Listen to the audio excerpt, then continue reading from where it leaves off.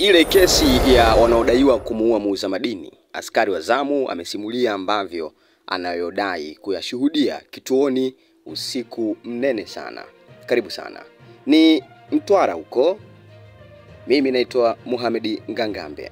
Shahidi watano katika kesi ya mauaji ya mfanyabiashara wa madini Musa Hamisi nayo wakabili maofisa saba wa polisi mkoani Mtwara ameieleza mahakama kuwa siku ya tukio hilo usiku washtakiwa wawili walifika kituoni cha polisi Mitengo na kumbeba mtu kwenye machela wakaondoka naye. Hata hivyo, alipohojiwa na kiongozi wa jopo la mawakili wa utetezi Majura Magafu, amekiri kuwa hakumfahamu mtu huyo kwa jina, mahali alikotolewa na alivyoingizwa kituoni hapo, na wala hakujua kama alikuwa amefariki au alikuwa ni mgonjwa tu.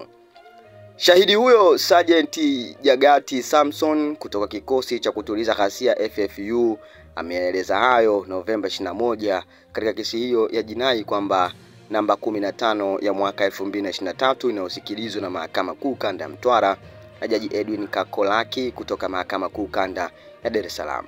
Washtakiwa katika kesi hiyo ni aliyekuwa mkuu wa upelelezi wa wilaya ya Mtwara OC CID mrakibu wa polisi CP Gilbert Sostenes Kalanje, aliyekuwa mkuu wa kituo kikuu cha polisi Mtwara OCS, mrakibu msaidizi wa polisi ACP Charles Morris Onyango. Wengine ni aliyekuwa ofisa intelijensia ya jinai wilaya ya DCIO Mtwara ACP Nicholas Stanislaus Kisinza, mkaguzi msaidizi wa polisi Marakumbuta Chigingozi, mkaguzi wa polisi John Yese Msuya, aliyekuwa mganga mkuu wa zahanati ya polisi Mtwara Shilazi Ali Mkupa na Koplo Salim Juma Mbalu. Maofisa hao wa polisi wanakabiliwa na shtaka moja la mauaji wakidaiwa kumuua kwa makusudi Musa Hamisi katika kituo cha polisi Mitengo ilani Mtwara mkoani Mtwara Januari 5 2022.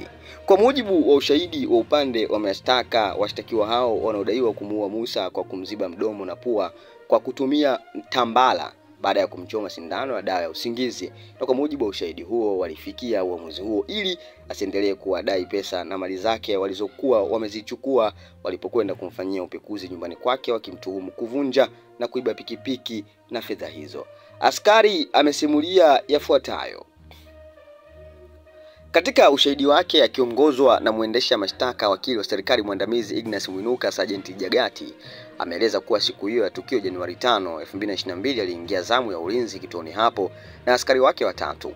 Amedai kuwa wakiwa wanaendelea na ulinzi usiku wa saa sita kuelekea saa saba aliona gari katika barabara ya Mtwara Lindi ikitokea uelekeo wa Mtwara mjini, na ilipofika usawa wa kituo hicho iliacha barabara hiyo na, kufua, na kufuata njia ya kuingia kituoni hapo.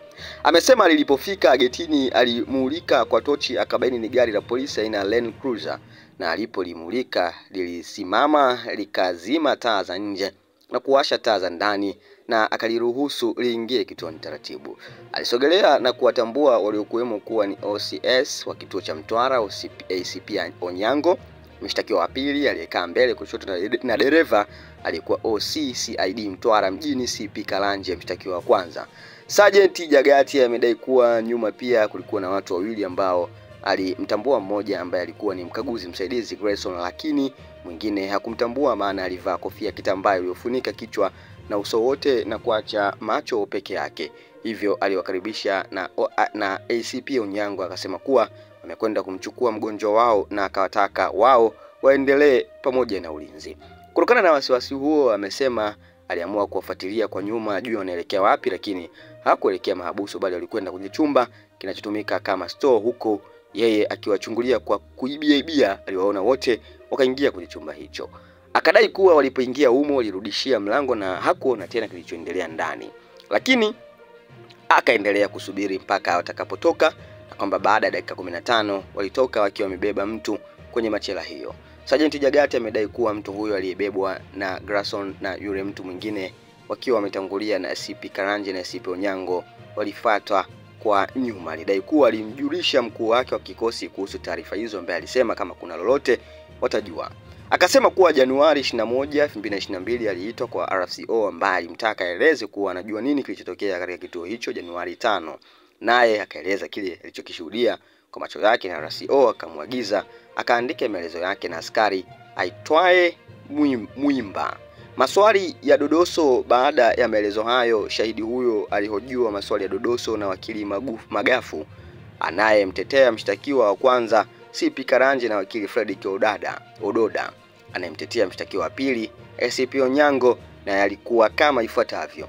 Naomba katika mwendelezo wa taarifa hii katika taarifa ijayo itakayohusu taarifa hii hii ya kesi ya polisi wanaodai kumuua muuza madini askari wa zamu asimulia anayodai kuyashuhudia kituoni usiku mnene. itakuletea taarifa ya dodoso, jinsi ambavyo maswali yalivyokuwa kati ya shahidi pamoja na wakili, pengine utaongeza kitu.